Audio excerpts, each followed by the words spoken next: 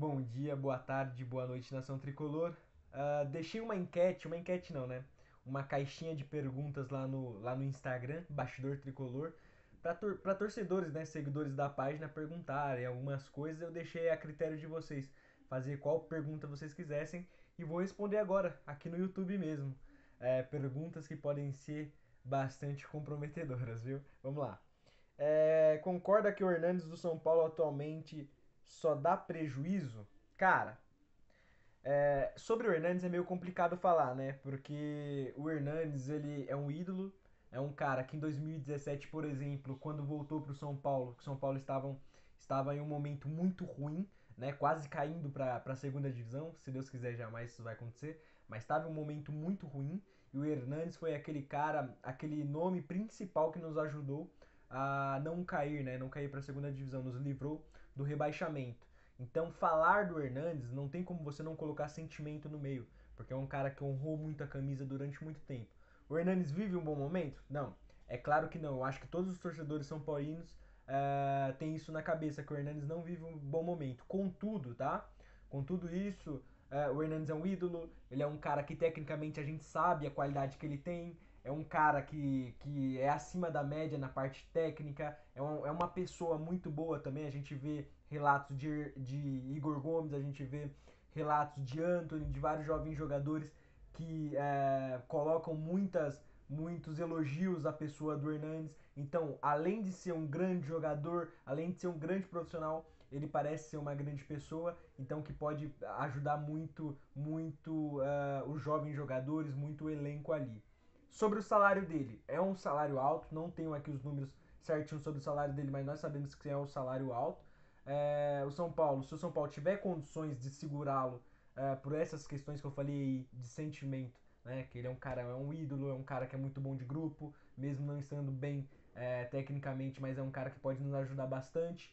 Então, se o São Paulo conseguir financeiramente bancar, é um cara que tem que continuar, tá? Vamos para mais perguntas. Uh, vamos lá, vamos lá. Vamos ver aqui a próxima pergunta.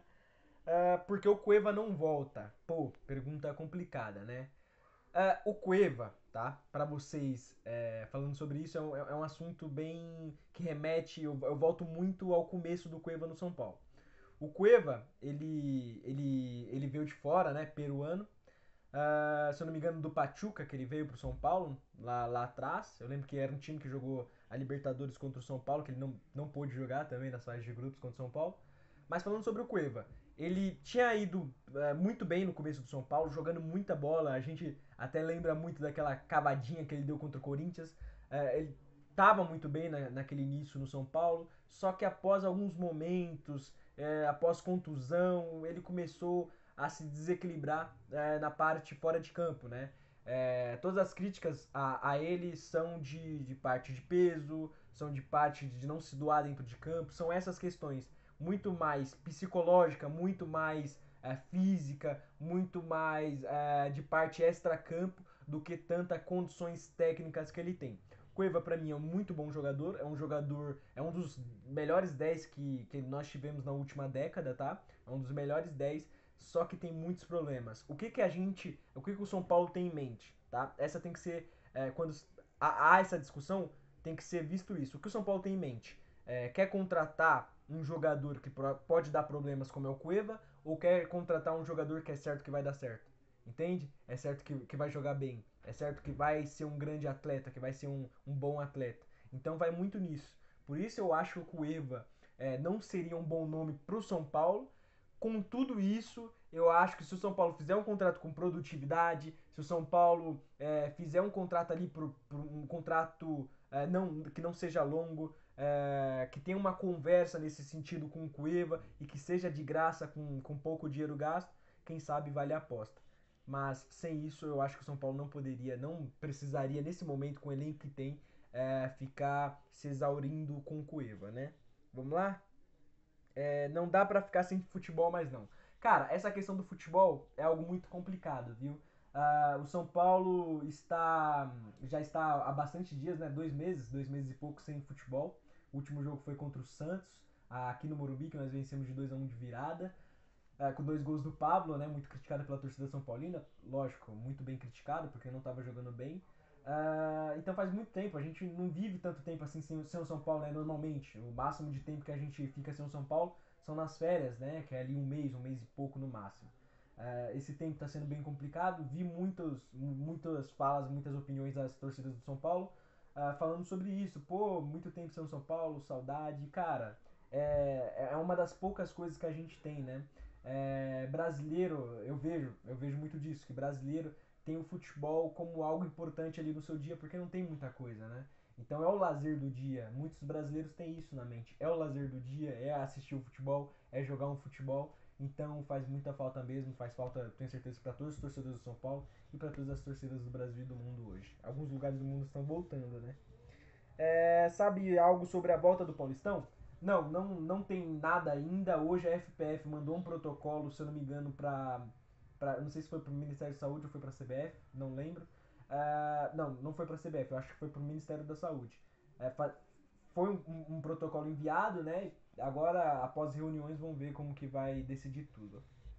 Uh, vamos lá. Quais as chances do São Paulo ganhar a Copa do Brasil? Eu acho que o São Paulo tem grandes chances pelo time que tem, pelo elenco que tem que, que construiu esse ano, né? Você tem Daniel Alves, você tem Pato, é, você tem uma boa zaga, o São Paulo defensivamente é muito bom, tá? Defensivamente o São Paulo tem dois bons zagueiros, uh, dois, é, dois, é, dois, né? Um goleiro muito bom, você tem bons laterais, é, um defensivo ofensivo, um é Juan Fran pela direita e o outro é o Reinaldo pela esquerda. Nós temos o Tietchan hoje como primeiro volante, está fazendo um trabalho sensacional. É, o meio-campo formado por Igor Gomes e Daniel Alves, o meio-campo que está tá, tá indo muito bem. Eu acho que o, o meu maior é a minha maior dificuldade, eu acho que o São Paulo, a maior dificuldade do São Paulo, no caso, é a ponta esquerda, tá? Eu já faço críticas há muito tempo sobre isso, falando sobre a parte esquerda do São Paulo. O São Paulo ele precisa de um ponto esquerda extremo, um ponto esquerda que vai até o fundo, que vai pro drible e que tenha todas essas características. Nós hoje temos o Anthony na ponta direita que vai sair, vamos perder, e vamos ter que colocar nas costas do Pato para ser esse tipo de jogador. E o Pato não é esse tipo de jogador, um jogador é, é, que vai a fundo tão rápido com velocidade. Ele é um jogador que tem muita qualidade, mas ele não é extremo. Ele não é extremo como, por exemplo, o Anthony, ele não é extremo como, por exemplo, o Rojas, que também joga pela parte direita do campo. Então nós precisamos de um jogador para esse lado esquerdo, para esse lado esquerdo do ataque. É... E esse possível quarteto na próxima temporada, eu acho que ele está falando do Murici, né? Que ele citou aqui o Murici. Murici, Raí, Lugano e. Murici, Raí, Lugano. Uh, eu acho que é o Diniz, né? Vamos ver aqui. É, é isso mesmo. Cara, é, eu acho que são. E o Kaká, na verdade. Eu acho que são pessoas é, completamente capacitadas, são pessoas que têm história no clube, tá? Kaká, é melhor do mundo, Kaká que jogou muita bola no São Paulo, é um jogador da base do São Paulo. Nós temos Raí, que nem precisa falar da história do Raí, nós nem precisamos falar da história do Murici Ramalho. Então são pessoas que são capacitadas, né? Trabalham no meio do futebol. O Kaká tá começando agora, mas vai, pretende fazer um estágio para isso e está estudando bastante. Então eu, eu acho que é, é, o Kaká ele tem tudo para ir bem no São Paulo. Acho que o Raí tem tudo para no próximo ano começar a subir seu nível de acertos. É, acho que o Muricy Ramalho, se vier, se voltar para o São Paulo em algum momento, poderia nos ajudar muito por toda a experiência, por toda a capacidade que ele tem, que nós conhecemos. Uh, então, eu acho que é mais ou menos isso. Se vir esse quarteto para o São Paulo, se é, o próximo presidente de São Paulo optar por esse ajuste aí na, na comissão, na direção né, do clube, eu acho que o São Paulo tem tudo para ir muito bem no próximo ano. Vamos lá? Seria ótimo se ele voltasse a jogar no São Paulo, melhor página disparada, além de todo o conteúdo. Cara, eu não tinha visto essa, esse elogio. Muito obrigado. É, eu acho que eu nunca falei isso aqui, mas é muito complicado você manter uma página assim, ainda mais uma página que posta a todo momento. Então você precisa de investimentos, né? Então, cara, fico muito obrigado quando, quando vem esse tipo de mensagem. É, fico muito feliz, muito obrigado e vamos melhorar, vamos continuar é, para ter mudanças boas, tá? É, tanto no São Paulo com crítica, mas também aqui na página. Então é nós estamos juntos. Vamos para mais perguntas aqui. Quem é melhor para assumir a diretoria do Tricolor? Pô, essa é uma pergunta que muitos torcedores me fazem. Cara, o melhor nome? Eu, vocês sabem que eu tenho um pensamento sobre isso. O meu pensamento é qual? O São Paulo tem que ser dirigido por pessoas competentes profissionais. Se tiver um presidente que saiba colocar pessoas é, profissionais lá, beleza. Independente se seja Leco, independente se seja Júlio Casares, independente se seja Marco Aurélio Cunha. Eu quero uma pessoa que saiba colocar pessoas lá que tenham capacidade para estarem lá. Você quer ver um, um exemplo? Eu sempre é, cito esse exemplo. No São Paulo, quando aquele diretor Pinotti, é, que ele, se eu não me engano ele fazia parte do conselho, ele contratou, pelo menos ele faz parte do conselho de São Paulo. Quando ele contratou o Centurião para São Paulo, ele virou diretor de marketing. Ele era diretor de marketing, né? E depois ele virou diretor, do, diretor de futebol. Então, peraí, como assim? Ele virou diretor de marketing e depois diretor de futebol e com todo respeito, fez um péssimo trabalho. Um péssimo trabalho. E nós estamos devendo para ele. Então é mais ou menos isso. Nós não podemos deixar o São Paulo na mão de pessoas que tenham cargos por amizade. Nós temos que deixar o São Paulo na mão de pessoas que são competentes e que vão ser cobradas pelos erros e acertos que estão ali. Entende? Pessoas que, se não fazer o certo, vai ter que sair. Pessoas que são pagas para aquilo, pessoas profissionais. Então eu acho que é isso que o São Paulo precisa é, de um choque de gestão e para ter uma identidade. Eu vi uma, uma, uma fala da Flavinha ontem numa live no, no Instagram e ela falou isso: falta identidade para o São Paulo. Isso é verdade. Nós lá em 90 tivemos Tele, um cara é, totalmente ofensivo. Depois tivemos Murici Ramalho, um cara que é, eu acho que é muito mais defensivo do que o Tele Santana, mas também tinha um jogo ofensivo. Né? O São Paulo fazia gols naquele ano, mesmo que era um gol de cabeça, bola parada e tal, mas fazia gols. Até que o São Paulo foram é, três campeonatos brasileiros ganhos, eu acho que foram fazendo gols, né? Então, aí for, foram mudando. Nós tivemos é, Ricardo Gomes, aí depois tivemos Dorival Júnior, que não se parecem. Depois nós tivemos Osório, que é totalmente di diferente desses dois nomes. Depois tivemos Balsa, que é totalmente diferente do, do, do Osório.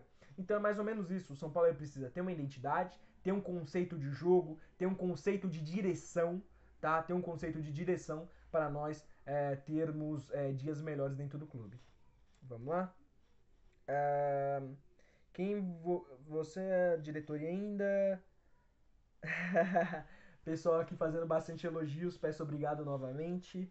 O que acha que precisa para o São Paulo voltar a ser, vencedor? Cara, mesma coisa que eu falei agora há pouco. São Paulo precisa ter identidade, o São Paulo precisa de profissionalismo, de pessoas é, que querem mudança, que querem é, mostrar trabalho dentro do São Paulo. Pessoas com fome, vamos dizer assim. Pessoas com fome. Não adianta uma pessoa que fique é, encostada dentro do clube. Não. Quero uma pessoa que tenha vontade de vencer. É, queremos pessoas que tenham vontade de vencer. Queremos pessoas que tenham capacidade de vencer também, lógico. Claro, pessoas que procuram melhorar, se aprimorar a cada momento. E pessoas que saibam usar o que tem de mais sagrado dentro de um clube, que é a sua torcida falamos do marketing, né, que é horrível, falamos do sócio torcedor do São Paulo, que é horrível, é, fazemos críticas a todo momento ao Total Acesso, né, que é o site que nós compramos ingressos, torcedores do São Paulo, então fica, fica bem complicada essa situação.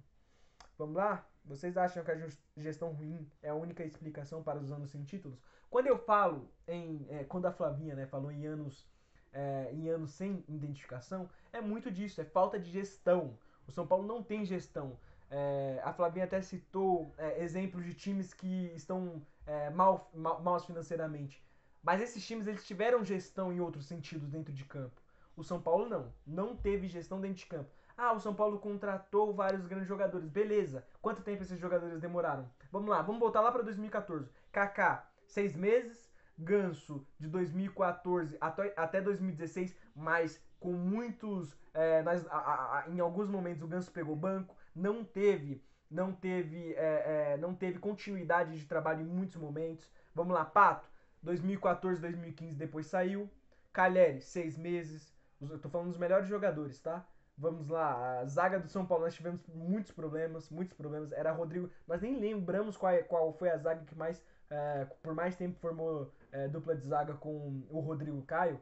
Eu lembro que o melhor mesmo foi o Maicon, que também ficou pouco tempo no São Paulo. Então é mais ou menos isso. De pouco em pouco tempo, vão vários jogadores e nenhum tem continuidade, nenhum tem tempo para mostrar um, bom, um bom trabalho é, para o clube. E sem tempo, cara, me desculpa, não há títulos, não vem grandes títulos. Nenhum time ganha campe vários campeonatos é, com jogadores ficando de 6 em 6 meses, saindo de 6 em 6 meses. Isso não existe. Por isso que São Paulo tá tão mal. Quem jogou mais? Ah, essa pergunta. É, quem jogou mais? Cafu, Cicinho ou Daniel Alves? Vamos lá. Eu vou responder ao todo e depois eu vou responder com a camisa de São Paulo. Acho que fica meio difícil pro Daniel Alves por conta do tempo que ele ficou no São Paulo, né? Mas quem jogou mais? É, Cicinho, Cafu ou Daniel Alves? Na carreira é meio complicado, né? Porque é, nós falamos da carreira do Daniel Alves, que ele tem 40 títulos, naquele Barcelona vencedor, depois foi pro Paris Saint-Germain, é, vários outros lugares, pela seleção brasileira também ligou o título, Copa América agora foi, foi o último, né? Então é, é, é, muito disso. Só que o Cafu, o Cafu, ele ganhou dois títulos é, mundiais, né? 94, se eu não me engano, ele tava. Não, na verdade eu acho que 94 o Cafu não tava. Então foi um título mundial, é, mas é, é, que eu não sou dessa época, tá? Mas o Cafu é multicampeão, o Cafu ganhou em, em vários, em vários, é, vários títulos, em vários times, na Roma, no Milan, no próprio São Paulo. Falando sobre ele no São Paulo. No São Paulo, o Cafu era ala direito, né? Era mais um ponta direita do que um lateral direito. Quem jogava na lateral direita do São Paulo era o Vitor. Muitos não, não lembram, mesmo tendo jogado muito futebol, o Vitor que era o lateral direito do São Paulo. E, cara, o, o, o, o Cicinho, ele jogou muita bola em 2005. É, aqueles anos do Cicinho foram maravilhosos, só que ele não teve continuidade de trabalho durante a carreira. Ele teve muitos problemas extra-campo que nós conhecemos, não, não, eu acho que nem vale ficar tocando nesse assunto. Então, é, em, em, ter tempo de trabalho, eu acho que os dois, Cafu e Daniel Alves, se sobressaem, né? Sobre o Cicinho.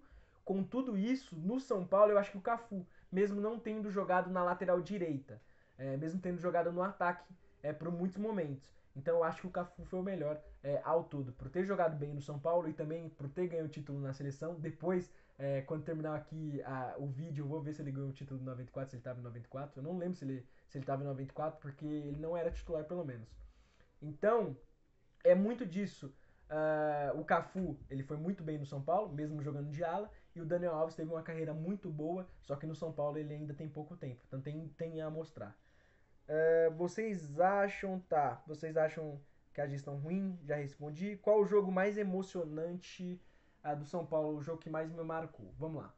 Tiveram alguns jogos. Eu acho que o jogo que mais me marcou foi o gol do Rogério Senna contra, contra o Corinthians, né? Na, em Barueri. Eu até pisei no mesmo gramado, então eu acho que por conta disso é muito, é muito importante para mim. É, aquele centésimo, eu lembro até hoje do momento do gol. É, teve também o primeiro jogo que eu vi de Libertadores, teve também o primeiro jogo que eu vi no estádio, que foi em clássico contra o Corinthians, então também marcou bastante, mesmo tendo sido é, o empate, né? De 1 um a 1 um. Foi aquele gol é, do Petros de fora da área e o outro, eu não lembro quem fez o gol do Corinthians. Mas enfim, eu acho que foi o Maicon, é, volante que depois foi, foi pra Ucrânia. Mas enfim, eu acho que tiveram alguns jogos. Teve a Libertadores, que eu não estava lá, de 2016 contra o Atlético Mineiro. Mas que, cara, aquele jogo ali foi completamente um, uma, quase um ataque cardíaco, né? Que a gente fala. É, então é um jogo que me marcou bastante. Eu não tenho muito muitos jogos assim grandes, porque eu sou, eu, tenho, eu sou de 99, eu tenho 20, 21 anos, então não tenho muito repertório nesse sentido. Mas alguns jogos me marcaram foram esses, tá ok? É isso, foram essas perguntas. Vou tentar entrar em live agora no Instagram e converso mais proximamente com vocês, torcedores, tá ok? É nóis. Bom dia, boa tarde, boa noite, Nação Tricolor.